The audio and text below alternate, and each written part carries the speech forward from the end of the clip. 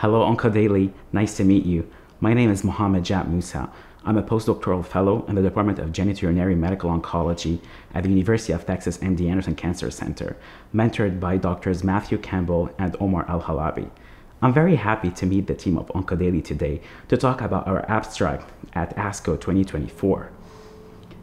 So despite the recent huge advances in the management of metastatic urothelial cancer with uh, antibody drug conjugates like enfortumab vedotin and sacituzumab govitecan, targeted therapies, or other immunotherapy combinations, there are still a lot of unmet therapeutic needs in the rare variant histologies in bladder cancer as well as other cancers in the urinary tract. Our research interest as a group has been focused on small cell bladder cancer, a disease with very high metastatic potential and dismal prognosis. Only around 10 to 40% of patients survive beyond five years, and even the median overall survival doesn't usually surpass two years at best.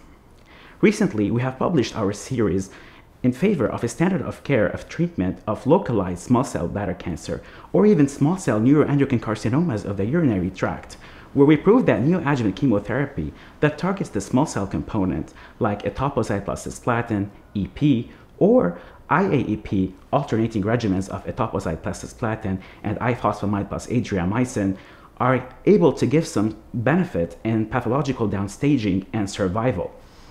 However, although we know that the standard of care is neoadjuvant chemotherapy followed by surgery in localized small cell bladder cancer, we still don't understand the biology of the disease and its behavior after surgery.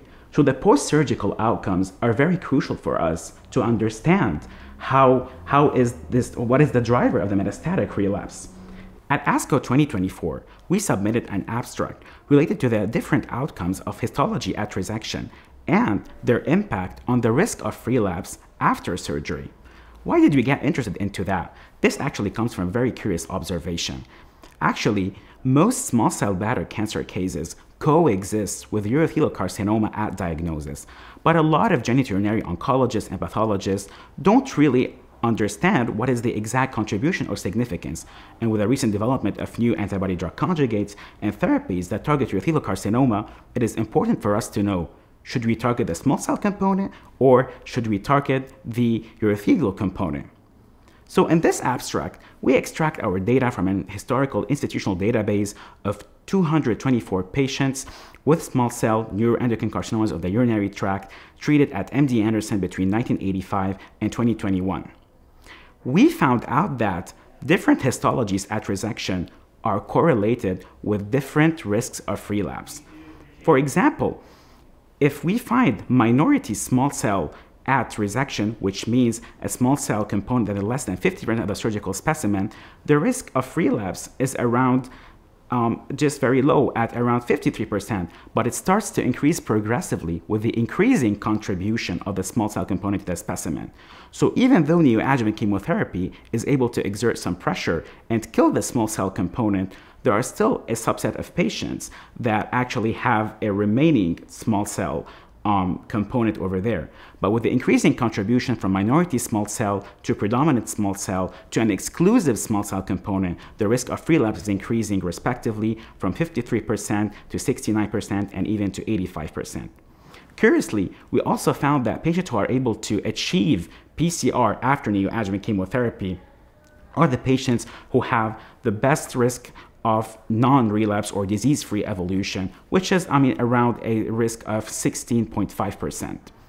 Why are these findings important? One, they help our genitourinary oncologists and our urologic oncologists stratify the risk of relapse for their patients after surgery, and this can help them guide their discussions and their real life time clinic, daily life clinic as well. Two, this is also important because this can also guide some studies of adjuvant therapy.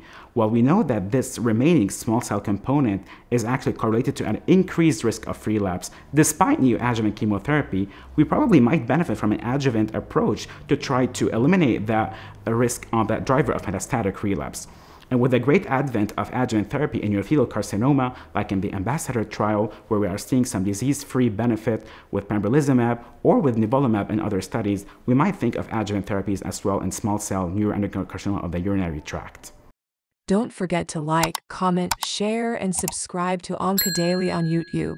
Hit the bell icon to stay update.